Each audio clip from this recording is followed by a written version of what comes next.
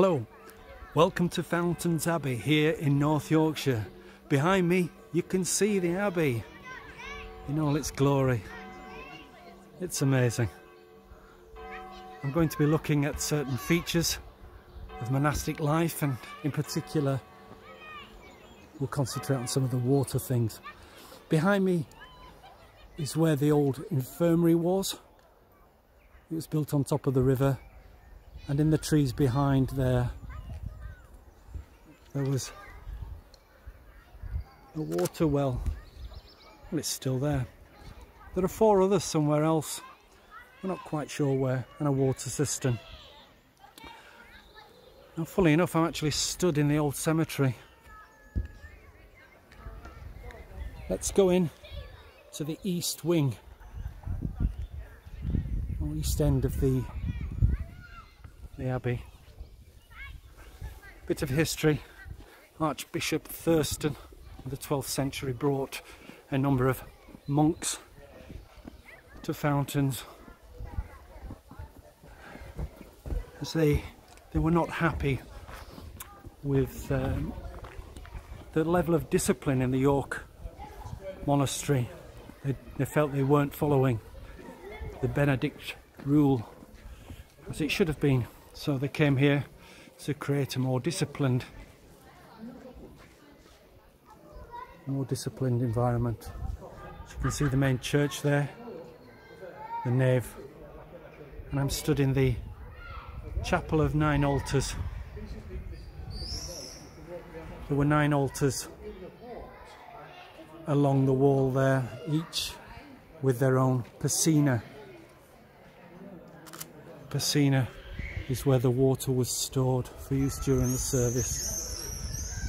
Just walking past the main altar.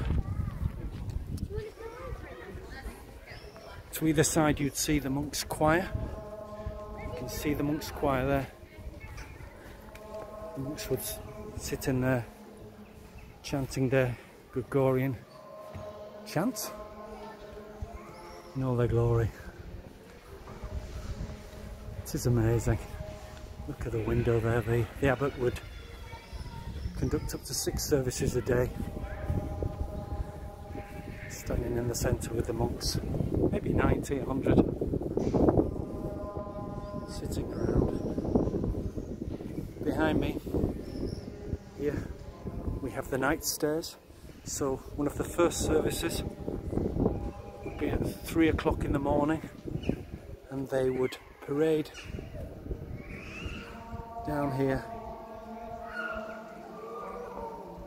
into the main church by candlelight, dressed in their robes. Just going down the day stairs into the cloisters. Just swing round, square shaped. This is where the monks would spend most of their day, that is the choir monks. There were lay monks or lay brothers, they didn't come in here. The choir monks are the ones who were responsible for the religious life. Let's go have a look at the chapter house, this is intriguing. Now the thing to understand about most, or many shall we say, monks, they didn't come here because they wanted to do. they were very often, hello, they were every, very often sent here by their families. There might be second, third sons, and they would pay a dowry, a dowry to the um, to, to the monastery, basically to keep them prisoners. They were not allowed to escape. If they did, justice was meted out quite severely. They would be flogged in the centre there with all the, the other monks sitting round. Just a little bit of interest here. That's a, um, a mason's mark. The masons used to, when they were building it, they'd lay so many stones a day and then the master mason would come along and then count how many stones had been used and that's uh, the basis on which they were paid. You can see we have various um, tombs um, probably from the abbots, maybe dignitaries. They were buried here.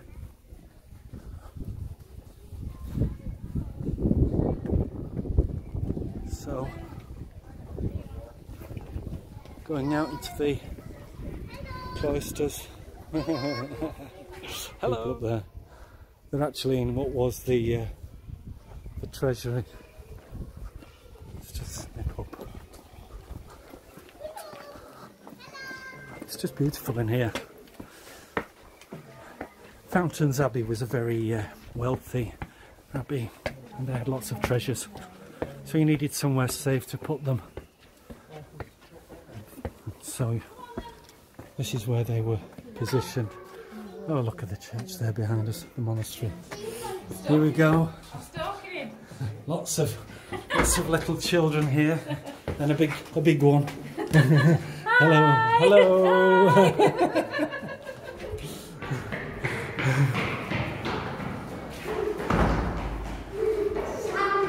this is the uh, the strong room. And it's believed that one King of England stored all of the, the national treasures of England here. More children. Hello. Hello. Hello. That was the old bookshelf where the, monks would pick up their books. And we just pass into this bit here, which is the warming house. And there, there was a big fire in the corner there. And several times a year each of the monks would have to go through a bleeding process whereby leeches would attach to their body. Blood sucked out. It cleared the humours. We're going through this uh, entrance here. It's rather elaborate entrance, beautiful, into the refectory. Refectory. So the, uh, this is where the, the monks would eat up to the uh, to side to the side there there'd be a lectern and one of the monks would be reading maybe a chapter from the gospels or from the psalms all the monks would eat in silence they might be using sign language it's drinking small beers say no don't want any more behind me is quite that's, uh, that's quite interesting. It's believed to be seats. The monks sat there because it was nice and warm, warm their feet. Let's just go through here. This is intriguing. These are the dormitories, an eating area for uh, the lay brothers. How incredible is this?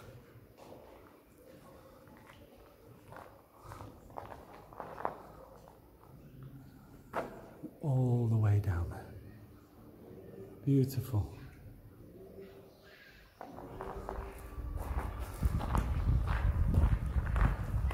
The choir monks, they were all upstairs.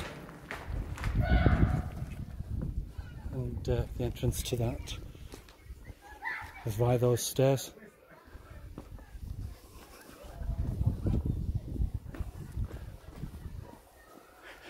It's a beautiful day. It's absolutely stunning, this, uh, this fountains. Behind me here we have what, what was the gate guest house. Various dignitaries would stay here.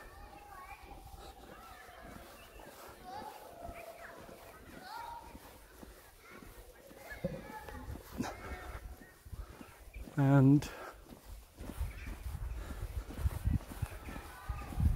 sleep in those quarters. The pack horse entrance to the monastery is behind me here.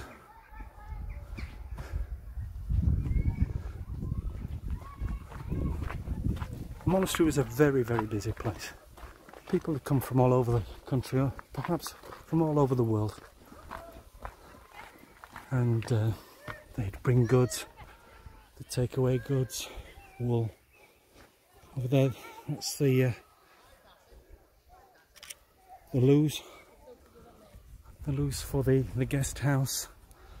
And uh, just down here you can see the water passing under the uh, under the monastery through those archways there. And there's a beautiful packhorse bridge. And over there is the bakehouse and the brew house complete with its own oven. Quite amazing so just wander over here. Leave the best to last. The outside toilets yes you can see nine stalls. You can see them there behind me. So when the monks were taken short they'd nip in there during the night. Don't forget they, they lived upstairs. They slept upstairs. And they would defecate from up there into this river. And the sewage was carried away back into the the main body of water further along. So there we have it. That'd have been dirty work. Anyway thank you for watching. See you in the next video